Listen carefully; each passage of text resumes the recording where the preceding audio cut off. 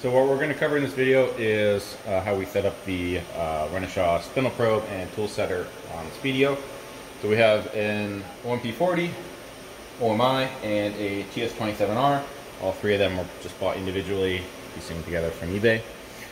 Uh, what we're not going to cover in this video is the macros or pairing the OMP40 to the OMI. Uh, you're going to have to do the dance with the batteries and setting the uh, probe. So if we look at our I.O. screen, and I'm going to go into PLC, standard ladder. This isn't standard, we just added this one line. Uh, it's the easiest way to show the skip signal being on and off. If I just touch our tool setter, see our signal coming on.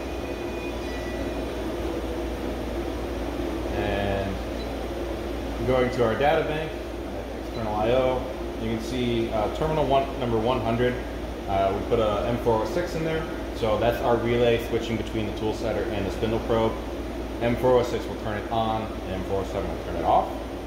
I go to MDI mode and run.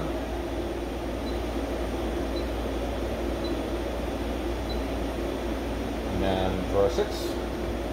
See our spindle probe came on, and on the left side, you can see the uh, LEDs on the OMI went green.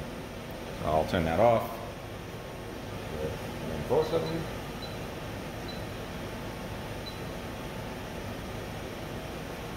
and spindle probe goes back off. Uh, I'll do that one more time, actually.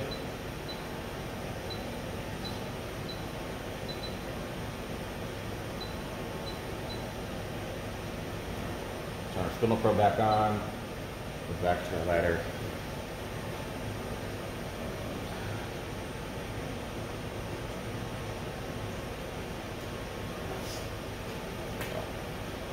Now our uh, spindle probe is the uh, skip signal we're looking at. So if we look in our cabinet, we've got our XTI and XTO board uh, where we have our outputs going in um, and then our XTIO A and B where we have our skip signals wired to. Uh, we have our OMI cable coming in here, going to a couple of terminal blocks as well as uh, our relay and we're supplying it with 24 volts and ground and then the relay is obviously swapping between our skip signals.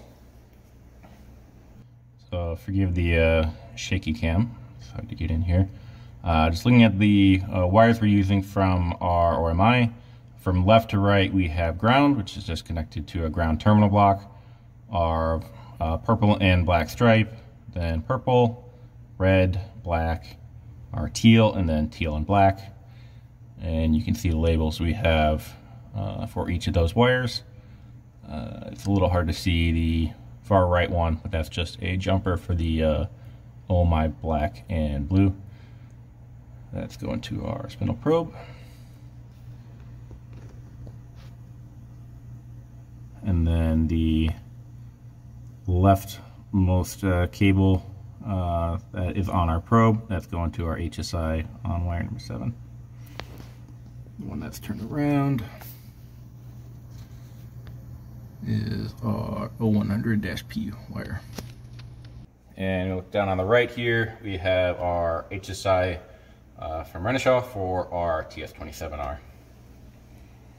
And on our HSI, we have the HSI 7 wire, it's going to our relay, XTIO 13, ground, and these labels still need to be switched so it's 24 volt supply and zero volt supply, which we'll look at next. So what's labeled as 24 volt supply and zero volt supply on the HSI, uh, that uh, needs to be changed in the labels to IO24 and IOG.